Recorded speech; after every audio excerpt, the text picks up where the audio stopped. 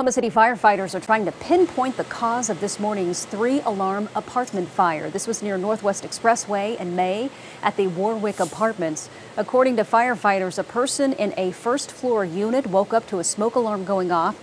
They were able to get out safely. In all, two apartments burned. Eight others had water and smoke damage. Damage estimated at about $200,000.